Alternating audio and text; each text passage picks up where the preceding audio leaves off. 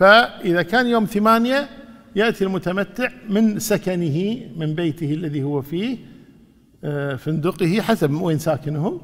طيب داخل مكة يقول لبيك اللهم حجا. لأنه اعتمر خلص فيقول لبيك اللهم حجا. القارن ماذا يقول؟ لا يقول شيئا. القارن ما زال محرما. المفرد ماذا يقول؟ لا يقول شيئا. ما زال محرما. فيتجه هؤلاء كلهم المفرد والقارن والمتمتع إلى منى يوم الثامن من ذي الحجة.